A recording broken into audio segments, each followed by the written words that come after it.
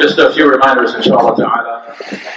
Just some things that sort of experience uh, in the community. We should remember Allah subhanahu wa ta'ala. He says in the Quran, وَلَا تَسْمَعُونَ مِنَ الَّذِينَ أُوتُوا الْكِتَابَ مِنْ قَبْلِكُمْ وَمِنَ الَّذِينَ أَشْرَكُوا أَذًا كَثِيرًا Allah subhanahu wa ta'ala, He says that indeed, indeed, and there's a double emphasis, لَمْ تُوكِيد نُونَ تُوكِيد الثَّقِيل for people that study grammar.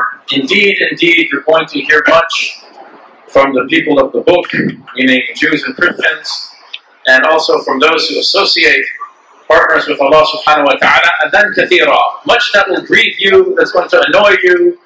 This is something that's expected. Right? This is what Allah subhanahu wa ta'ala is saying in the Quran. This is a Madani ayah. This is expected. The dogs will always bark. But then he says, subhanahu wa ta'ala, wa. But if you have sabr, if you have patience, what is patience? Inama sabru fi sadmatul ula. As the Prophet ﷺ, he said, when he saw a woman crying in the graveyard and she was being a little excessive in her weeping, right? And he said, Ya Allah, O maid servant of Allah subhanahu wa ta'ala, wasbiri wa taqi, have patience and, and have taqwa of Allah subhanahu wa ta'ala. And she without even turning around to see who it was, she said, You've never been afflicted like this. What do you know? You've never been afflicted like this. The Prophet ﷺ, he buried six of his seven children. The most severe of tribulations. Bala. They come to al-anbiya, the prophets, right? To raise their degrees. So he said to her, patience is true patience is at the first strike of the disaster. That's sabr. Right? So I remember one time I was in Iran and there was a car accident and this guy got out, he said, Hey Baba and then they started wrestling on the ground, they're punching each other. After like two minutes, they're both exhausted. They said, ah, you know, I'm sorry, maybe I made a wrong turn. Please forgive me. I was like, it's already done. That's not patience. Patience is when the first strike comes to you and you show patience. Right? And the ulama say, fake it till you make it. Right? You have to have takhalluf.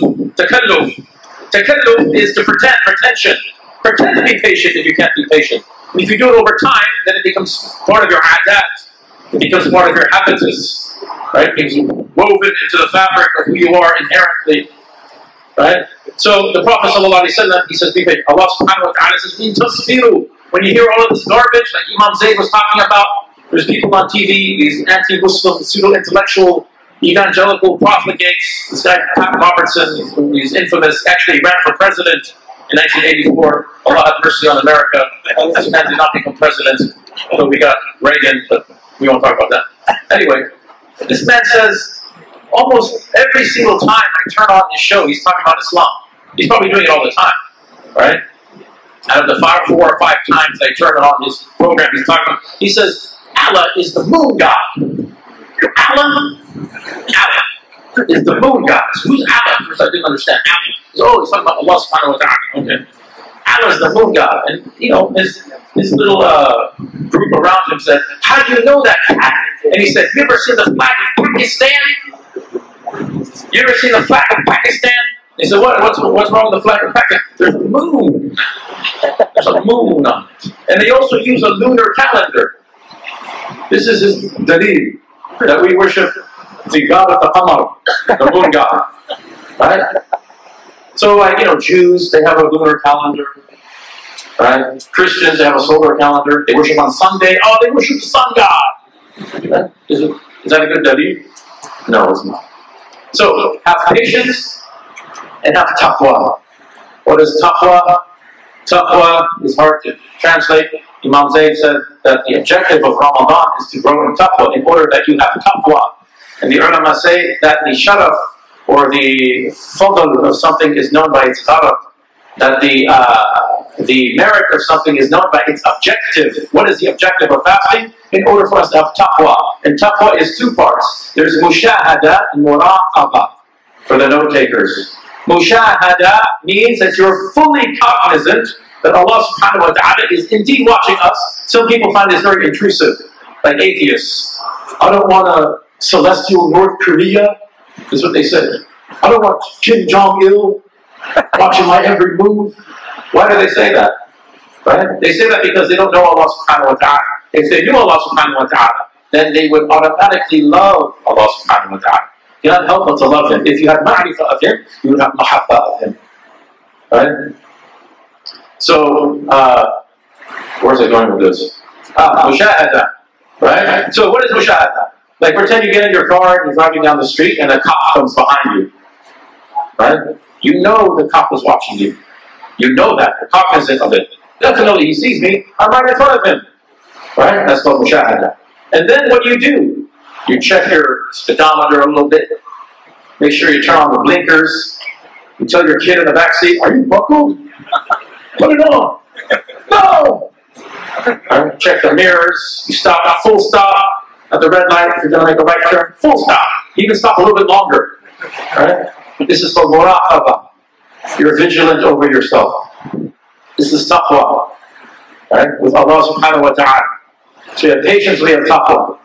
Allah subhanahu wa ta'ala, He says in Surah Al-Ma'idah, He says, قُلْ لَا يَسْتُوِ الْخَبِيث وَالطَّيِّبِ Say they are not the same. Khabith, dirty things, foul things, and good things. They're not the same. La yastawi. They're not the same. وَلَوْ أَعْجَبَكَ كَثْرَةُ الْخَبِيث Even if the sheer amount of the garbage surprises you or dazzles you, it's just garbage. Where there's a little bit of garbage or a lot of garbage, guess what? It's garbage. You can't do anything with it. So we have the youth, the shabab, and other people too. Muslim adults they go Google the name of the Prophet and page after page after page of khaba'ith after khaba'ith, garbage after garbage, and this has a, a real detrimental effect when you read these types of things. Right? But Allah subhanahu wa ta'ala tells us, don't be deluded by that. Fattaqullah, the next part of this ayah says, fear Allah. Have taqwa of Allah subhanahu wa ta'ala. Mushahada muraqabah. Fear Allah subhanahu wa ta'ala. Ya ulil albab. Oh, people of lub. What is the lub? Is the kernel, the seed of something. People of core understanding. People who have tasted their faith. The people of dhawq and tahqiq. Who know how to look at something by its outward form and draw out the ma'ana, the real meaning of that outward form. These are people that are guided by Allah subhanahu wa ta'ala. This comes through hidayah, or it comes through the rational faculty if you know how to use it, the aql. Right? So Allah subhanahu wa ta'ala says, don't let all of this garbage dazzle you, even if it is a lot. Be people of discernment. Be people of discernment. And this is very, very important. To be able to look at reality and to draw out the meanings of what's actually happening. And Muslims, they fall into these kind of uh, these bifurcations because we're influenced by Christianity. We don't even know it. All of us have been influenced by Christianity. Western postmodern Protestantism is very dualistic. It's very simplistic, right? Basically, you know, the prosperity gospel, that the amount of love that God has for you is commensurate with the amount of money in your bank account. So if you have a lot of money, you have some investment homes, you got a Rolls Royce, obviously Allah loves you. But these fuqara, Allah hates them. This is, this is the prosperity gospel, right? Manifest destiny. We're influenced by these types of things. I hear some ajib and types of things from Muslims sometimes. You know, for a lot of Muslims, the Golden Gate Bridge is the definitive proof, yani dalil qat'i, that Christianity is correct and Islam is false. Now you think to yourself, what on earth?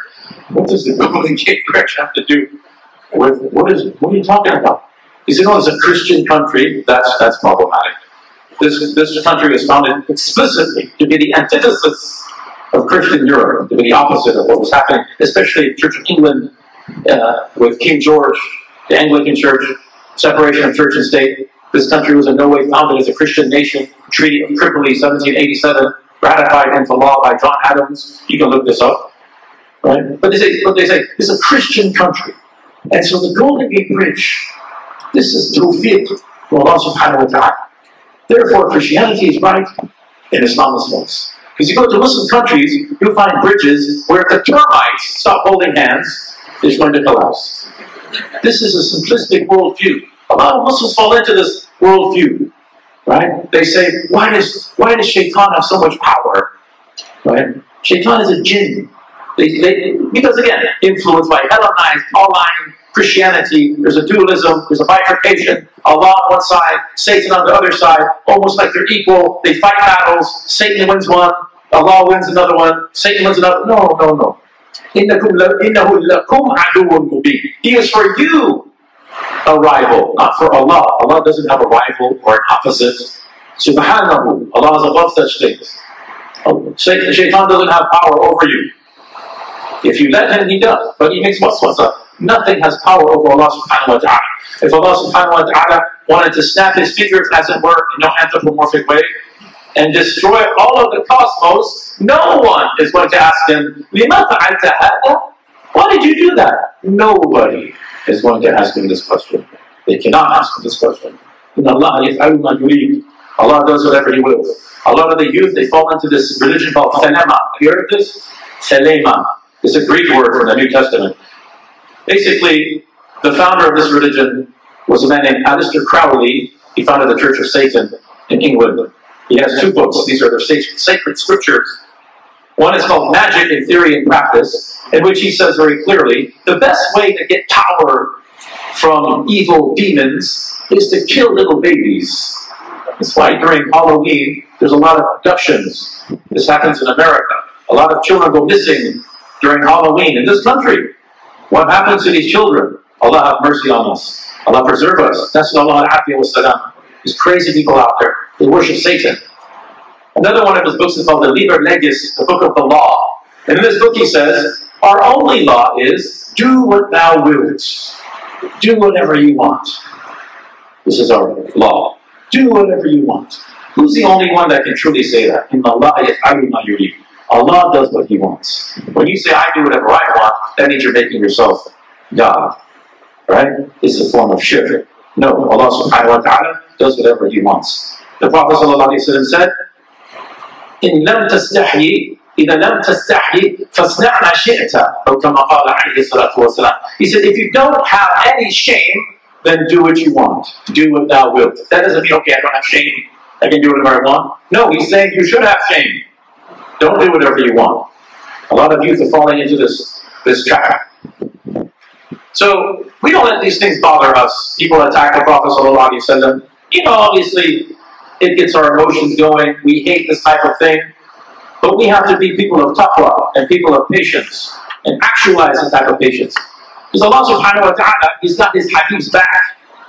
The Habib has backing, major backing, the biggest backing, so to speak. There's a hadith in Bukhari on the authority of Abdullah ibn, uh, Abdullah ibn Abbas, anhuma, which he says a Christian man in Medina became Muslim. And then this Christian man, for whatever reason, and he was a scribe of the revelation. He used to write down the Quran that was revealed to the Prophet. So then this Christian man, he, uh, he reverted back to Christianity. It's very strange. This happens all the time. I don't know if you're aware of this. I deal with this because I'm into this Christian Muslim type of thing. I'm doing doctoral work on this. I've been involved in this for a number of years. And I talked to several of these people who were Muslim and became Christian. And I'll tell you this every single time, without exception, every single one of these people had what I would say at least a major misapprehension as to what Islam actually was. Some of them, I doubt they were even Muslim to begin with. So they don't know what they've rejected. Because some of some of these people, some of the Muslims, I don't know. We don't study we don't study things anymore. So the religion is sort of hocus pocus jinn stories, ghost stories that Kaka John or Apple John or Cha Cha John they taught us when we were little bit, when little kids, the jinn stories. There's a Scooby-Doo religion, right? Like this one brother, he said, you know, I, uh, I, I, last night there was a black dog in my room, and it had green eyes, and it was exactly 3 a.m. It bit me on the hand, but when I looked, there was nothing there. What does it mean?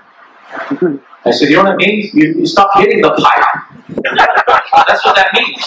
Put the hookah down, bro. Put it down, relax, pick up the mushaf, raise your arms in dua, pick up the Shama'il and Nabawiyah, read some, something about Aqidah, read the Sirah of the Prophet What are you doing all day? Smoking the hookah? Putting pictures of yourself smoking a pipe on Facebook? And then you're seeing the dog and the green eyes and What do you want me to? Oh, the dog represents the nafs and it's a jinn. And the green eyes is because you love money. And then it's 3 a.m. because it's the Trinity. And what, what are you talking about, bro? Put the hookah down, relax, and study the deen. This isn't some Scooby Doo religion. He goes go to the mystery event, you smoke the hookah, and you look for jinns, and you have a talking dog, and then you eat some Scooby snacks. And it's serious religion. Serious religion. So anyway, this man, he became Christian after he became Muslim. Right? And then he said to his Christian friends, he said, لا يدري محمد إلا ما كتبت له. He says, the Prophet وسلم, he doesn't know anything except what I have written for him. Right? A few days later, this man dies of natural causes. He died. The Christians buried him. And the day after that, they found his body was laying on top of the earth. And they said, Ah, Muhammad and his Sahaba, what they've done. And the Prophet had nothing to do with that. No companion exhumed his body. So they buried him a little bit deeper. A little bit deeper. The next day, they found his body laying on top, his carcass laying on top of the earth. They said, Ah, Muhammad and his companions, these guys, yeah, what have they done to our brother? Right? And then they buried him in like this pit. Right? It's like, nail it up, put him in the pit. The next day they come, his body laying on top of the earth. They said, leave it. You know what happens to a body when you leave it on top of the earth? This is a man who was spewed out by the earth, as it were. Spewed out, vomited. By an out, spewed him out. Get out of here, spit him out. Why? Because if he denigrated one little denigration, insult against the Prophet sallallahu alaihi wasallam. Allah's got his Habib's back. Major backing. Like in Mecca, the Prophet sallallahu alaihi wasallam when he received the revelation, فَأَنْدِ عَشِيرَةِ الْأَقْرَبِينَ So tell your ashira, the ones that are close to you. So he climbed a safa and he told the people, he said, وَسَبَّاحَ Ya Sabaha, Ya Sabaha. And this means, this is a battle cry of the Quraysh. Sabaha is related to Subh. Right? This is what they would say if there's a raid coming into the city, a raid, an army coming in to raid and pillage and plunder. Right? Why is it related to the Subh? Because raids usually happen during the daytime. They don't happen at night. This is pre-Islamic rules of engagement. You don't attack people at night when they're sleeping. You look at what's going on now, you have drones dropping bombs on women and children. You know, from civilized, quote unquote, civilized military industrial complexes. Anyway, so, uh, what was they saying? Sorry. What was the story? Ah, so goes, sorry. Sorry, it's getting old, I think. So then he says to the people, he says, If I saw an army approaching the city on this other side, would you believe me? And they say, Of course, you're a sa'di al Amin. You are a sa'di al Amin. This is the title they gave him. And he said, Inni lakum nadirun shadeed. I am a warner to you. So first he warns them, because according to Usul, there's an axiom that first you save the people from harm before you give them the benefit. So first he's a nadir. He warns them, and there's a silence and then Abdul Uzza, his uncle, he says, Alihada, this is why you call this out Tabbalek. May you perish. And Tabbalek, in colloquial Arabic, is an F-bomb. He dropped an F-bomb on the Prophet you know. So, you know, people, this is in public, this is his uncle, right? There's people around. People drop F-bombs on us, what do we do? I saw his brother one time, driving in a car, leaving the masjid. Somebody cut him off. Boom, boom, boom, boom, boom. Go, oh, astaghfirullah. Dropped like six, seven F-bombs. I'm sitting in the car next to him. So I'm sorry, brother, this man just cut me off. It's okay. It, he's honking at him. There's actually a khilaf amongst the khilaf amongst the ulama about using your horn. Some of them say it's haram to actually use your horn. Haram. Some of the ulama, contemporary ulama, they say because you're preaching adab, you're scaring people. Relax. No, you can only use it for tanbih. Just you know, if somebody stopped at a red light, you're texting or something. Don't be like, ah, ah, what are you doing? What's wrong with you? Faboom. Faboom. Right? So this is Abu Lahab. Right? Abdul Uzza is Abu Lahab.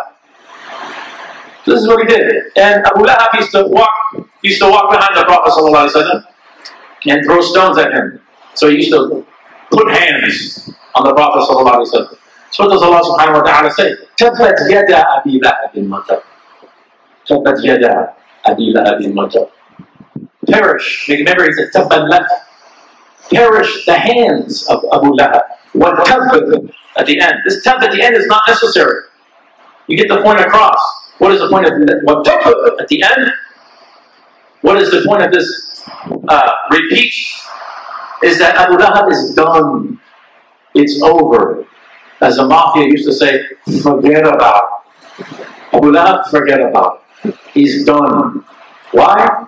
Because he denigrate and insult the Prophet sallallahu alaihi wasallam. So Allah subhanahu wa ta'ala He's got the Prophet's back. There's another story, and this is leading up to what I really wanted to talk about, is a surah in the Quran, Surah 108, which is called Al-Kawthar. A beautiful surah. Early Meccan surah. So there's a few surah in the Quran, a few chapters in the Quran that are called the chapters of consolation. Will console his Habib. Like Duha, Alam Nashrah Laka Sadrak, and then its culmination is uh, Al-Kawthar. So the background of the surah is that a man named Al-As ibn Wa'il, Al-As ibn Wa'il, because the Prophet's sons had died in infancy. Al-Qasim and Abdullah died when they were very young. So this man, Al-As ibn Wa'il, he said, إنه أبتر, or had أبتر. Abtar means he's been cut off. Batara means to cut off the tail of a horse. What does that mean? He doesn't have any sons. His lineage has been cut off. And this is how he used to refer to the Prophet as Abtar. Right? So Allah subhanahu wa ta'ala reveals, Inna a'tainaka al-kawthar. Beautiful surah. A lot of things happening in the Arabic. It's interesting, Imam Fakhr al-Din al-Razi, who wrote the beautiful tafsir, Tafsir al-Kabir, also known as Mafatih al-Ghayb. And people who speak Farsi, you have to know Fakhr al-Din al-Razi. You cannot see the Fakhr al-Din al-Razi. Even if you don't speak Farsi, this is one of the great uh, tafsir of our tradition. He has a section in his tafsir called Al-Munasabat. And Munasabat really deals with uh, the significance of the ordering of the surah, of the, of the chapters in the Quran. Right? So the surah itself is a literary unit and it's cohesive. Because, you know, the classical Orientalists who basically have a bachelor's degree, the equivalent of a bachelor's degree in Arabic, he looks at, he reads the Quran within the surah and he says, this doesn't make sense. There's changing of tense. What's going on here? Right? First person, third person, singular to plural. This verse has nothing to do with this verse. And then it goes back to another. This is a jumbled mess.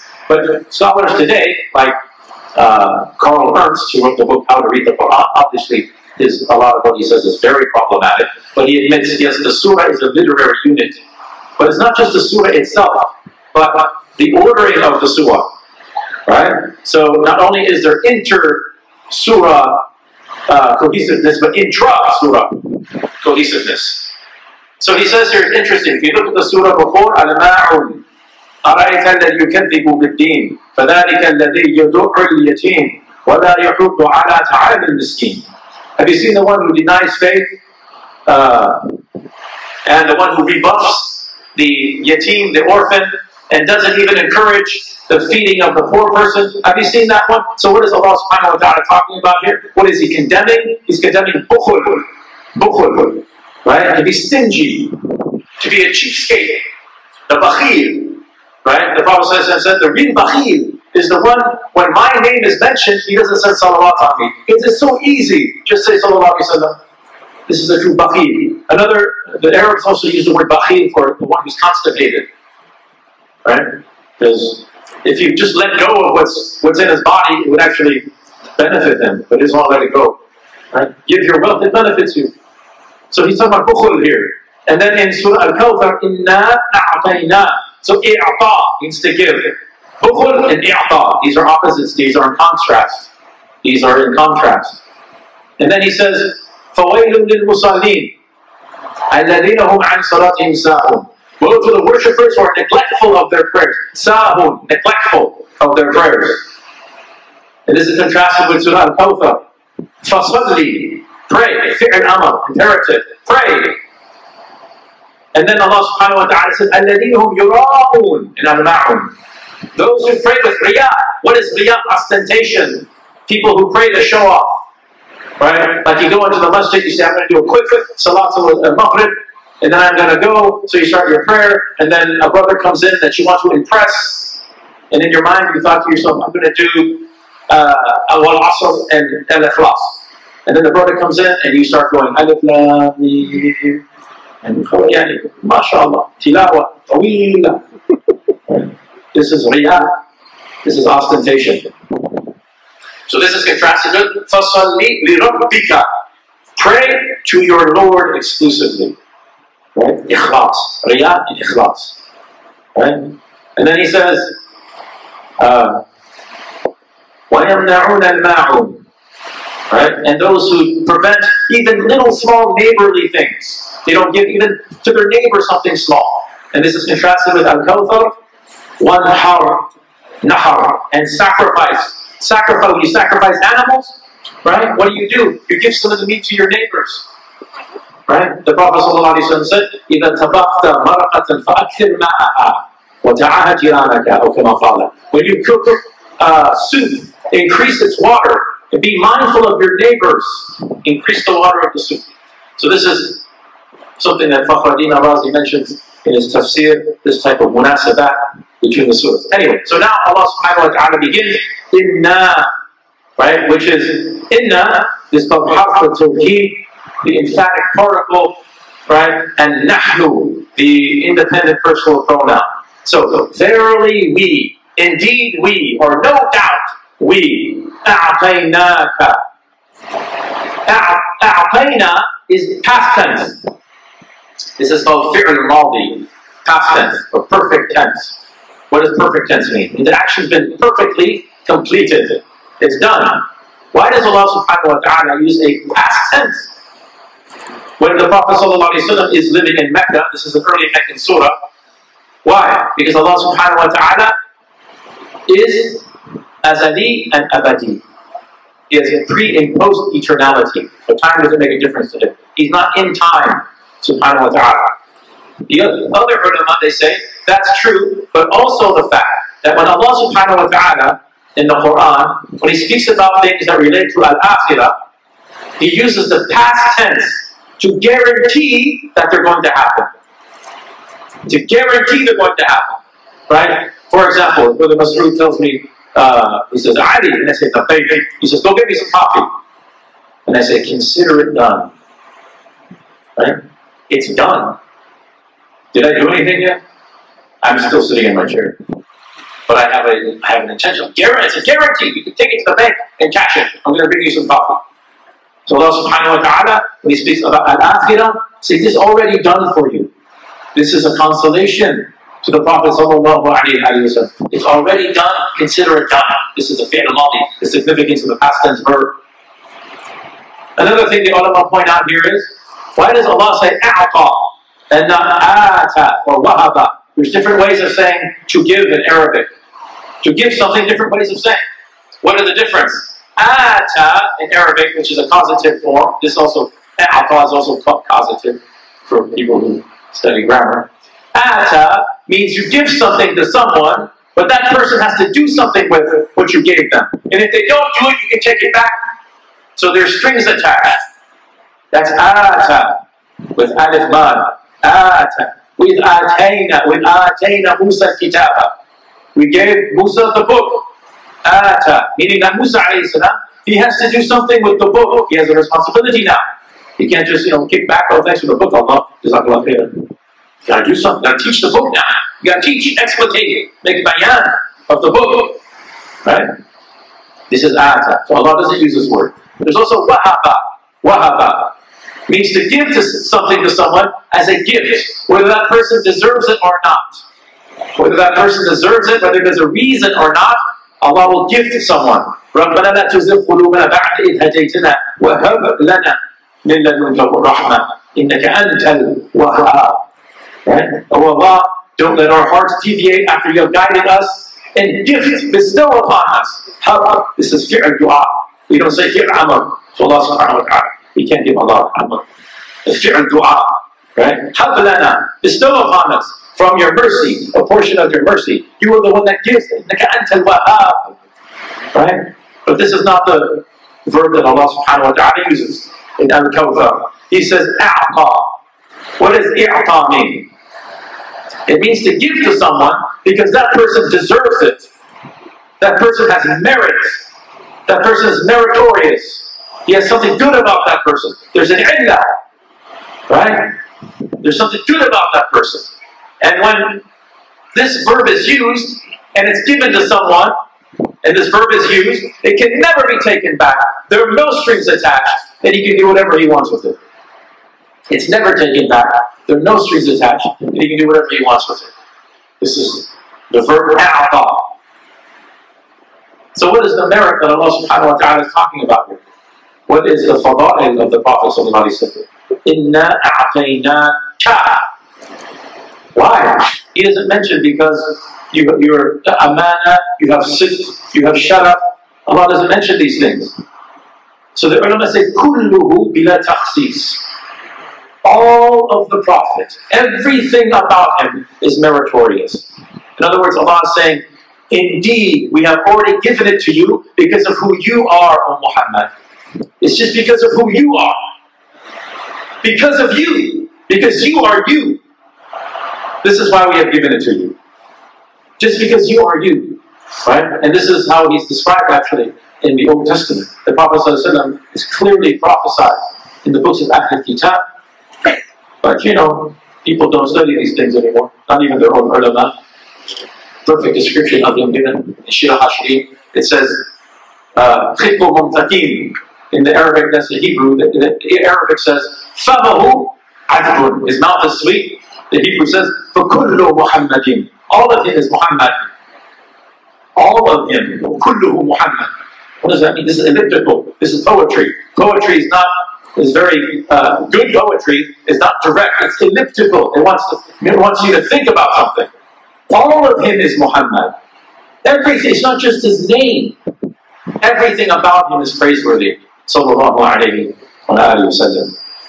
So inna al-kawthar. We have given you Kawthar, Al Kawthar. What is Kawthar? This is from Kathura, right? Which means to increase something. Kawthar is called Sighatul Mubalagha. This is an intensive form.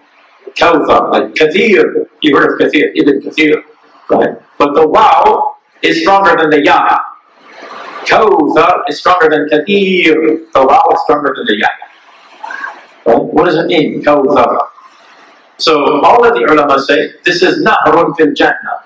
This is a river in paradise. But most of the ulama say it means other things as well.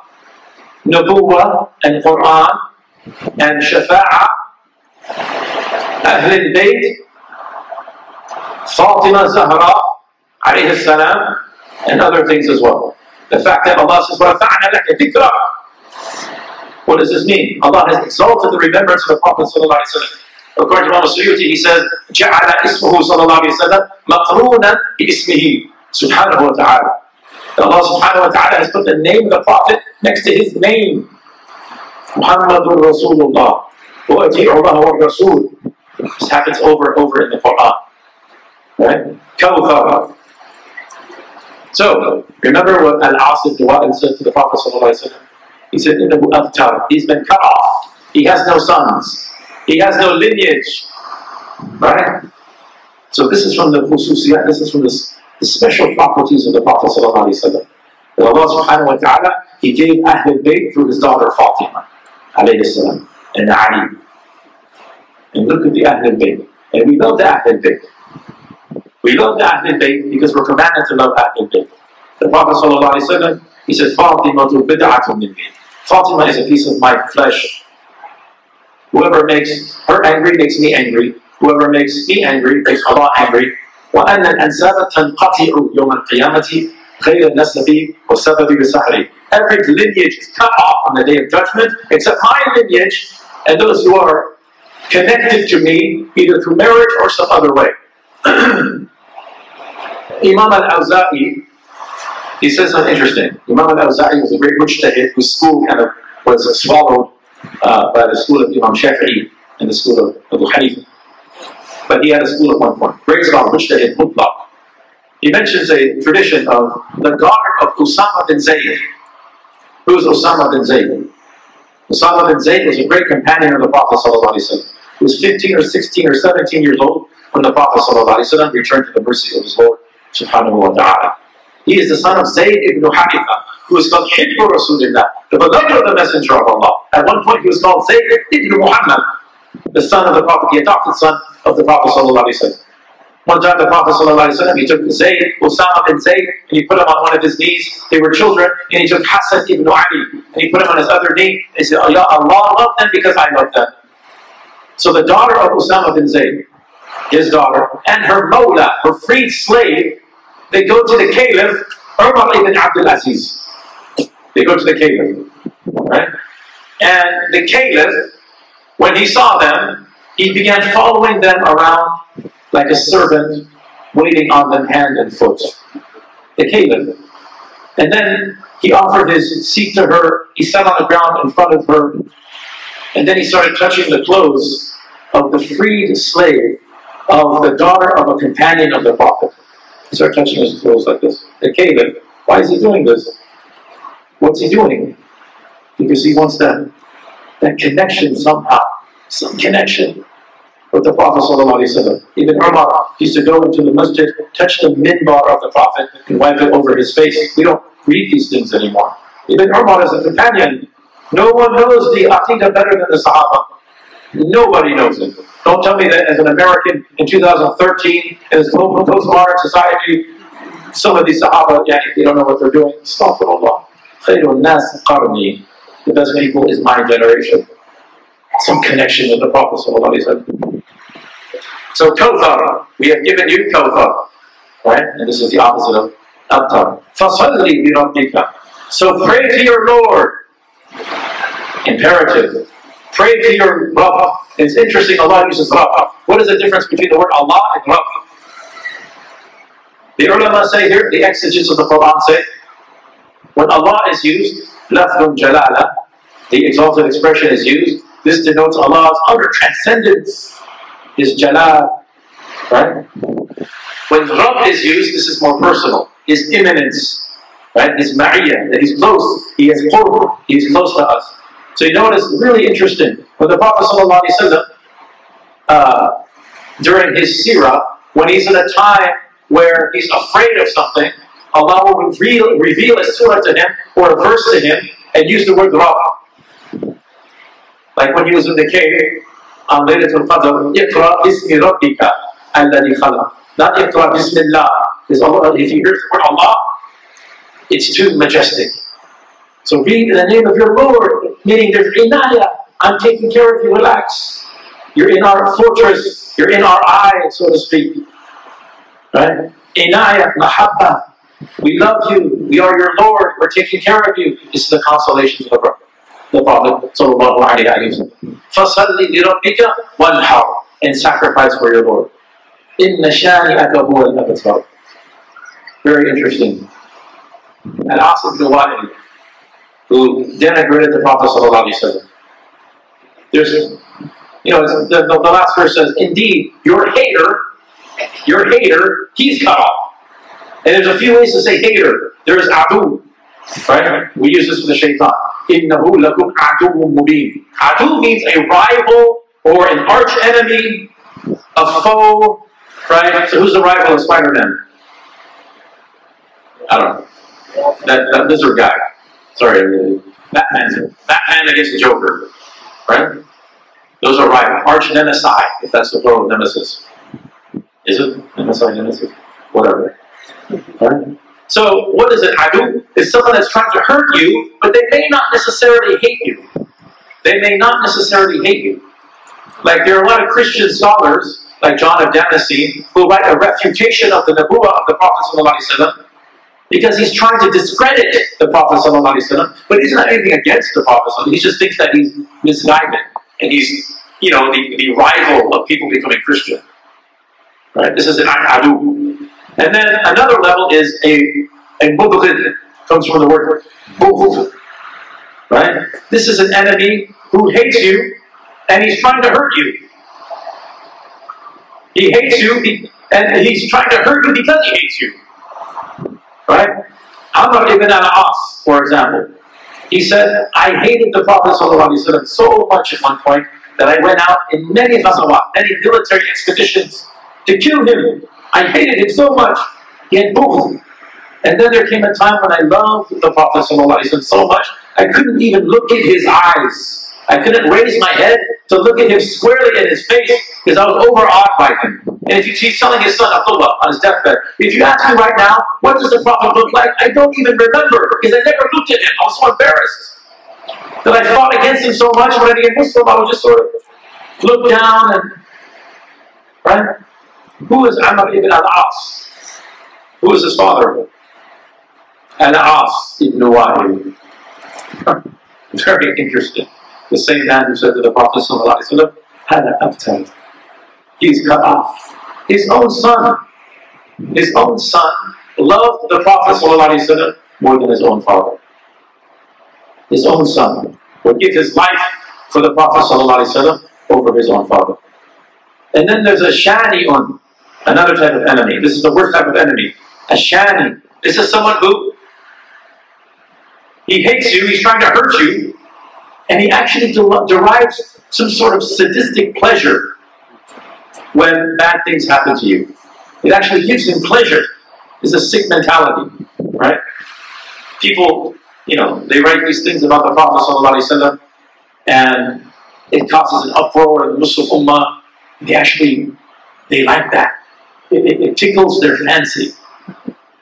People are strange. People are shayateen. Um, in the uh, uh, uh, this person hates you, he's trying to hurt you, and he derives pleasure. This one is cut off. Right? So, my message of consolation to everyone, and I'm out of time, is that this affair is real. Allah is God. The Prophet is a messenger of God. There's a Jannah, there's a garden, there's a Nar, there's hellfire. These things are real. The Prophet ﷺ is truthful. He gave us the message. And we should have yaqeen in this. And we increase in our yaqeen when we have knowledge of Allah subhanahu wa ta'ala. Don't make this into the Scooby-Doo religion. Forgive. No more Scooby-Doo religion. We have to be serious.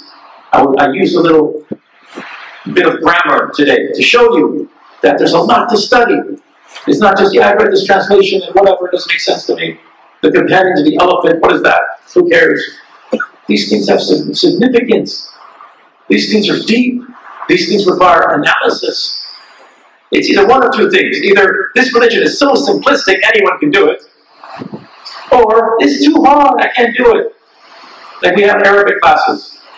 Right? I've, I've, I've started 10 or 11 Arabic classes because it always fizzle and die. Because people say, is too hard. One of my teachers, he was teaching Arabic, and a student came up to him and said, it's too hard, I can't do it. So he asked the student, he said, uh, where did you go to school? He said, uh, I have a master's from Stanford. He says, SubhanAllah, I went to a JC, and I can do this. Why do we tell ourselves that you're a genius? This should be very easy for you. You're telling ourselves this is too hard. Or it's too easy, a monkey can do it. Right? So we don't we don't honor the deen, we don't honor the knowledge. I don't know we're out of time, inshallah. صلى الله عليه وسلم محمد وعلى اله وصحبه وسلم الحمد لله رب العالمين